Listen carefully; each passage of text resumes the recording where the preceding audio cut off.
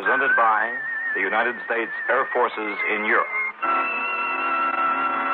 I am the Whistler, and I know many things, for I walk by night.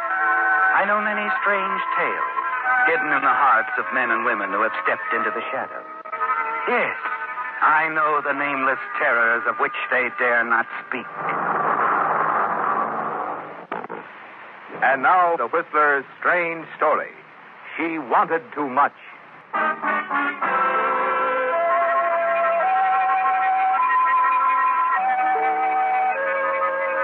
Walker looked beautiful standing there by the window.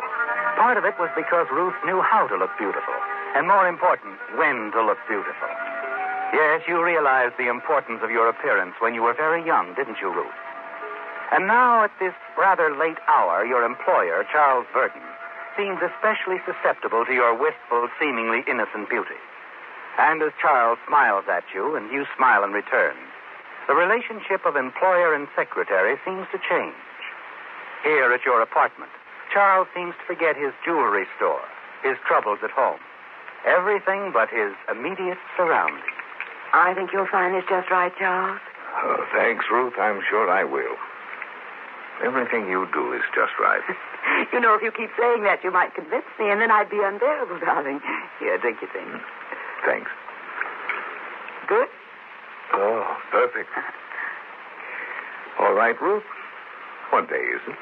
Exactly five months ago, I walked into your jewelry store, asked for a job. There wasn't any until. Until I walked in and saw. And then there was. Five months ago today. Hmm? Mm, yes, Charles, it's all been wonderful. Only one thing missing. For me, anyway. Yes? Not having you always, darling. 365 days a year. Ruth? I thought we'd agreed not to discuss that. I, I'm sorry, it's just that I... Let's not spoil what we have, Ruth. There's no chains, nothing holding either of us. Except that I've fallen in love with you. You'll get over it when you meet some nice young man. I won't. I don't even want to, ever. I'm still married, Ruth. My wife isn't well. I couldn't leave her after 20 years. The shock would be too much. I've asked nothing of you except the pleasure of your company from time to time. If you'd rather not see me anymore. Please, Charles, I, I'm sorry. I shouldn't have said anything. No, Ruth, you really shouldn't have. I wish you hadn't. Well, Ruth, even after five months, you're moving too fast, aren't you? Charles Burton, your employer and friend, is still cautious, on guard. You're not even sure that you haven't spoiled your original plan. You're still wondering about it after Charles leaves, when. Fred, you shouldn't have come here like this. Easy, baby. I saw him leave. Close the door when I talk to you. It's, it's late. Ah, relax. Sit down. All right, Fred, what's bothering you? When do we go to work on your boyfriend? You got enough on him right now for me to approach him? We have nothing on him so far. He's simply been friendly and kind. He's given you quite a few expensive doodads, hasn't he? Oh. He's been up here plenty of times. That's enough for me. Besides, you can always exaggerate a little. You have before. Now, when do I go to see him and threaten to tell his wife? I'll tell you when. You told me that three months ago. Yeah. You wouldn't have something else in your mind, would you? Like what? Like deciding to sell Mr. Big and getting a divorce and marrying him? Cutting me out of the deal? That's ridiculous. He's old enough to be my father. That don't bother a lot of women. I'm as anxious for some of the Verdon money as you are. All right, then figure out something. Well, I, I think I have. But it'll take a little nerve. I don't like the blackmail idea, Fred. It's too risky. Charles might not go for it either. You thought of a better idea? I think so. You can hold him up. Hold him up. Your boss? Yes, it'll be easy, Fred. Oh, you're out of your mind. Besides, I'm not interested in small change. You call twenty or thirty thousand small change? You telling me he carries... Listen, Fred. Tomorrow night, Charles is taking some diamond rings and bracelets to the Blue Hills Hotel to show a woman customer from out of town, an older woman. She didn't want to come to the store, so Charles agreed to bring them over. Now, he's due there at nine o'clock. He's a little reckless for a man of his age, isn't he? Not particularly. It's not unusual. He lives within five minutes' drive of the Blue Hills. He can carry them in a case in his inside pocket, and no one but me knows anything about it.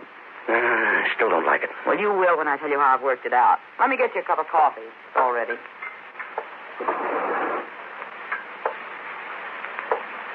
Here, Fred. Oh, what's the idea of going through my desk drawer? I'm not going through it. I'm looking for some cigarettes. Oh, well, there's some in that box on the television set. Okay. Here's your coffee. Look, Fred, this is so simple a child could do it. Charles will get to the Blue Hills about nine. You'll park on the lot. Now, there's only one attendant. You can get in the car while he's in the hotel, hide in the back seat. I'll give you a key to the car. Oh, you got a key to his car, hmm? Yes, he forgets and locks his keys in the car every now and then when he comes over, so we had an extra one made for me. The license number is Q248Y13. It's a big blue sedan. Yeah, I know the car. I've seen it parked outside this place often enough. Well, it was your idea that I'd get the job with Charles and play up to him. Okay, okay. You know, you might have an idea at that. It's as foolproof as anything can be. It's worth a try, I guess. Tomorrow night, huh? Yes. Now listen, Fred. All you have to remember. Fred reacted exactly as you hoped. And you're certain that after the holdup, Fred will be out of your life for many years at least, aren't you, Ruth? Next evening, you return home immediately after the store closes. Wait impatiently until 20 minutes before 9. Then leave your apartment. Speak pleasantly to the desk clerk in the lobby as you carefully explain you'll be back in a few minutes. You're certain Fred will do exactly as you've told him. And you know what you're going to do, too, don't you, Ruth? Yes, you know exactly what you're going to do. And you smile grimly as you enter the corner drugstore. Walk quickly to the phone booth and dial the police. Fourth Precinct Station, Sergeant Gray. There's going to be a holdup about 9.30. Just a minute. Who's talking? It doesn't matter, and you needn't try to trace this call. I'm talking from a public phone. If you're interested, someone is planning to hold up Charles Verdon in his car at 9.30 on the parking lot of the Blue Hills Hotel. It's a blue sedan, license number Q248Y13. The holdup man will be hiding in the car.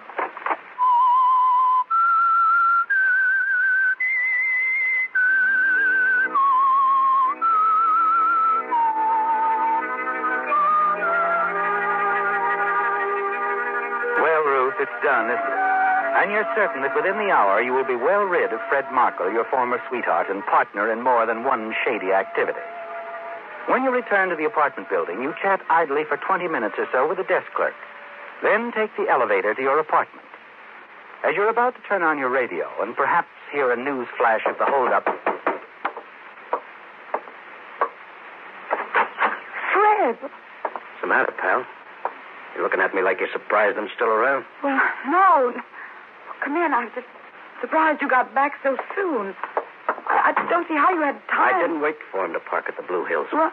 I drove by his house about 8.30. His car was parked outside. What? It was dark, so I decided to take him before he went to the Blue Hills. I parked and got in the back of his car okay. In about five minutes, Burton came out, got behind the wheel. Somebody saw you? No. But your boss got a little rough. He's a pretty big guy. Wasn't easy. And that... Well, I had to shoot him.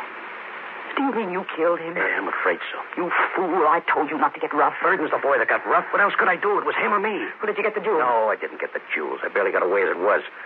What I want to know is who tipped him off. You think he was tipped off? Well, he acted like it. He had a gun. Sit down, Fred. I, I'll get you a drink. Then you can tell me all about it. Yeah, okay, I, I can use one. Here, Fred. I told you last night the cigarettes in that box on the TV set. That desk drawer seems to fascinate you. I wasn't looking for cigarettes this time, baby. I was looking for this gun of yours.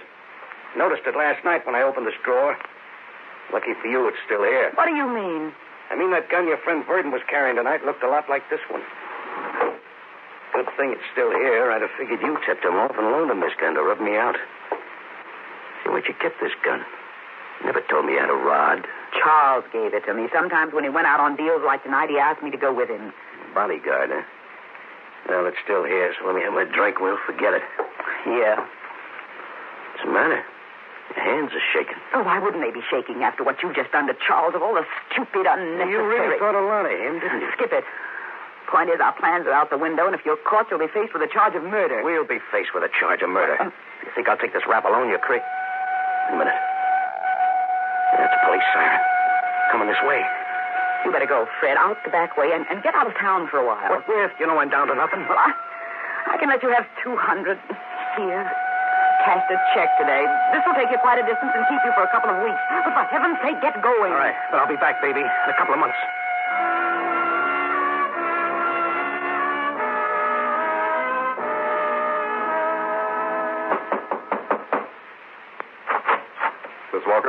Yes?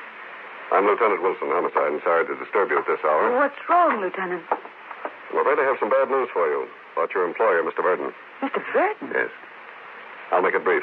There was an attempted holdup. He was killed. Mr. Burton? Here, you better sit down, Miss Walker. Thank you. Now, uh, tell me, you were here all evening? Well, yes, except for about five minutes when I walked down to the drugstore. Mm-hmm. The desk clerk saw me leave and return. You may ask him if you like. Oh, no, that won't be necessary. Just a routine question. Well, I guess that's all for now. Good night, Miss Walker. Good night, Lieutenant.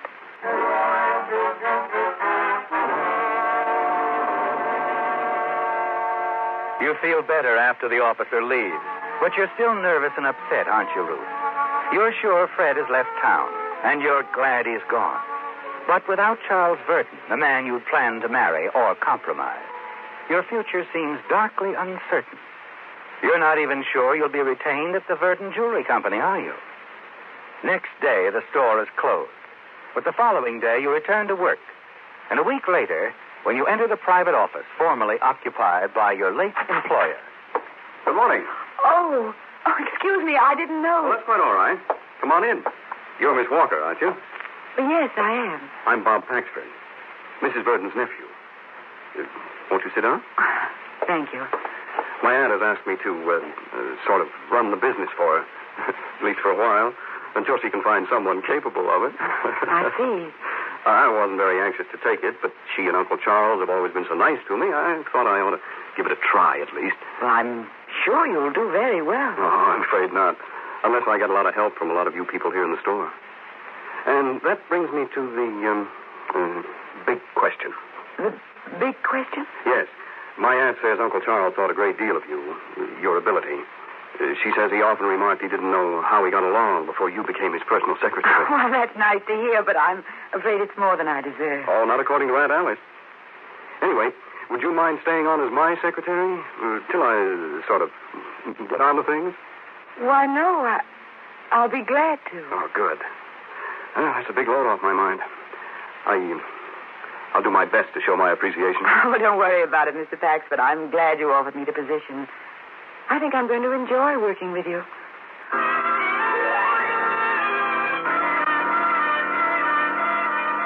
Yes, you're certain of it, aren't you, Ruth?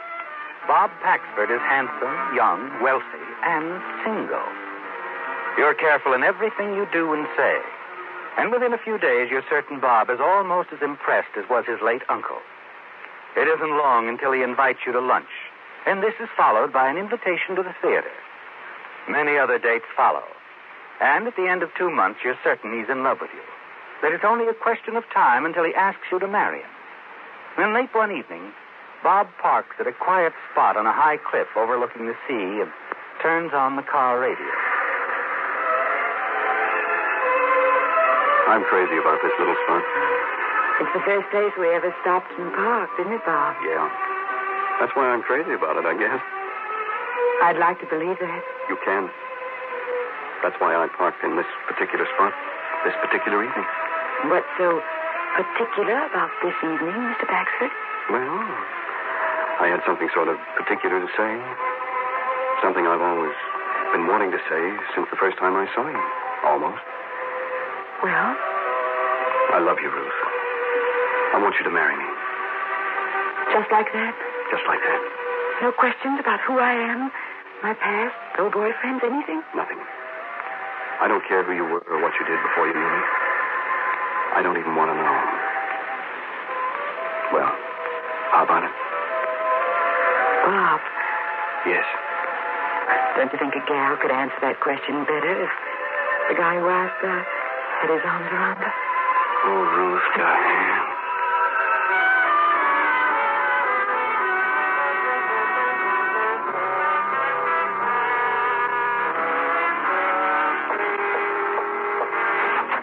Fred, Yeah, Fred. Told you I'd be back in a couple of months. well, even so, you didn't have to come here. Oh, why not? Mr. Paxford's gone for the evening. Watched him drive away ten minutes ago. Hey, what a ring you're wearing.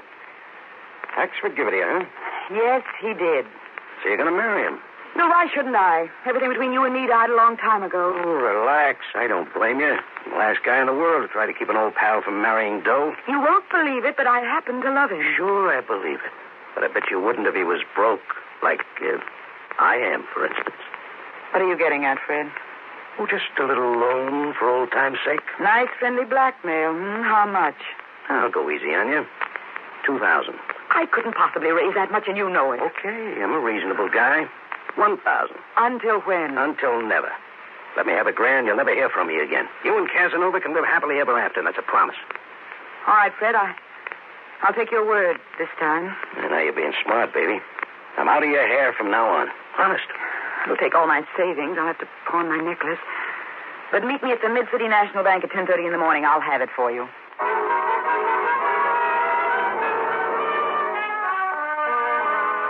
Next morning, you give Fred the thousand dollars. And as the weeks pass, you hear nothing further from him. Then one day, when you and Bob attend the opening day of the races, And approaching the finish line, it's a baby star by a head. And at the winner, it's baby star, Dulcin and Stan Oh, sure picking him today, Arnie. Georgie, we win this time. Well, payoffs are being posted right now. Let's see. Uh, uh, 2280, 228 bucks. that's our fourth winner. Yeah. And I got two of those winners from a friend of mine. If you'll excuse me for a minute, honey, I think I'll go to the bar and see what he likes in the next place. Go run along. He's been a perfect picker so far. I won't be gone five minutes. The seat taken, lady? Now, these are reserved. Fred, you... I know what I said, and I meant it. But I lost most of that grand in Nevada. Just let me have one more thousand, huh? You're crazy. Where do you think I'm going to get it? Well, You've been doing okay today. I've been watching Paxford collect for you. You get away from here, Fred, before you ruin everything. Call me at my apartment around 11.30 tonight. No use in calling you, Ruth. I'll be there. Then come in through the rear entrance and walk up. I can't afford for you to be seen. Okay. Be seeing you. I got the answer, Ruthie. Homicide. What? Our bet in the next race. Homicide. Homicide, hmm? Well, you know, I think that's a real hunch, darling. Homicide.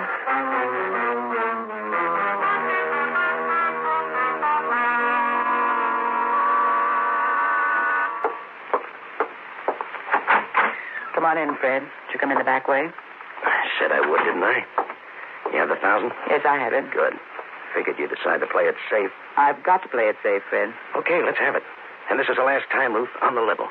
All right, I'll get it for you. And you're right, Fred. This is the last time. What's the idea of the gun? You'll see. Now you stay where you are. Who you phoning? Switchboard downstairs. The clerk's testimony will be very helpful. Yes, clerk speaking. What is it, Miss Walker? Get me the police Hey, quickly. me- There's a burglar in my apartment. Help Give me please. that phone. Stay away from me. Stay away from me. Miss Walker. Miss Walker, are you all right? I, I'm all right, but I shot the man that forced his way into my apartment. I think I killed him.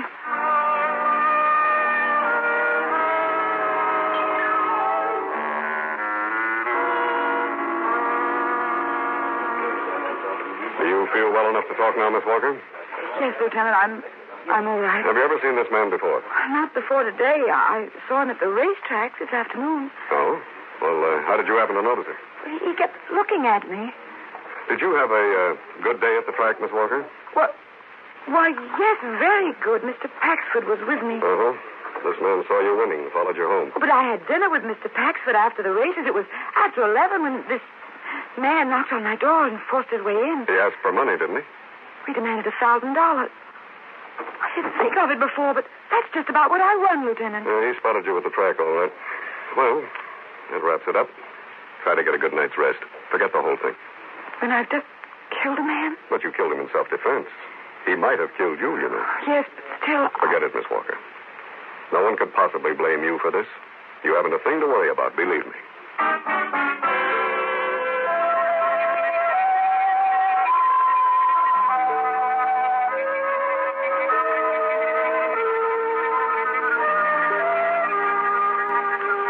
It was even easier than you thought it would be. The police didn't seem to doubt your story for a moment, did they? No, your timing was perfect. Phoning the desk clerk at just the right moment. Making certain he'd hear your frantic call for help, your plea for the police, then the shots. Now, Fred Markle is out of your life forever.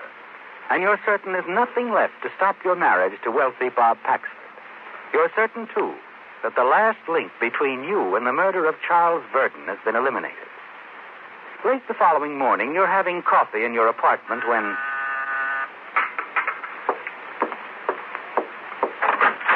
Oh, good morning, Lieutenant. Come in. Sit down, won't you? I, uh, I brought your gun back, Miss Walker. My gun. I didn't know you had it. I took it when I left you last night. You were probably too upset to notice. Just normal routine. I see. You, uh, always keep this revolver in your own personal possession, do you, Miss Walker? Well, except when I was with Mr. Verdon when he was carrying unusually valuable jewelry. I uh, uh, keep it there in the desk drawer. Incidentally, I have a permit. I know. We looked that up. Ever loan it to anyone? Uh, never. What's this all about, Lieutenant? I'm afraid I'm going to have to charge you with murder, Miss Walker. Murder? Well, last night you said it was self-defense. I'm not talking about last night. I'm talking about the murder of Charles Verdon and that attempted holdup a few months ago. I wasn't anywhere near there. How could you possibly The be... gun you used in Fred Markle last night, your gun, Miss Walker, is the same gun that killed Charles Verdon. My God. Ballistics prove it beyond a doubt. It couldn't have been. I... Unless... Fred. Fred who? Fred Markle. That's the man you shot last night, isn't it? Yes, but, but he's the one who killed Mr. Verdon, Lieutenant. I, I, I remember now. He was at my apartment the night before Mr. Verdon was killed. He opened the desk drawer where I kept the gun looking for cigarettes. That's when he took it. It had to be. And then the night he killed Charles, he opened the drawer again and, and put it back. I know he did. Now, wait a minute. Are you saying that Fred Markle came to see you at your apartment the night before Mr. Verdon was killed? And again the following night after Mr. Verdon was killed? Yes, but I can explain that. Last You night see- you said you'd never seen him before. Well, I know, but I lied. I, I, I didn't want to get mixed up in anything, but Fred had been blackmailing me. So you and- killed Markle before he could get to young Bob Paxford to tell him about you and wreck your marriage. huh? Oh, no, no. Fred threatened to kill me last night. It's no go, Miss Walker.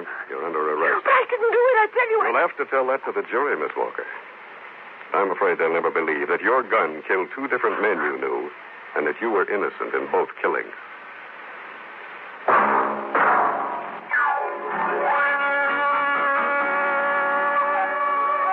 Again next week when once again the United States Air Forces in Europe presents The Whistler.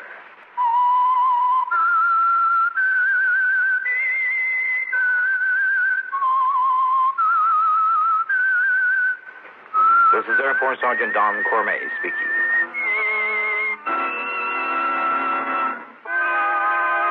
Whistler has come to you through the worldwide facilities of the United States Armed Forces Radio and Television Service.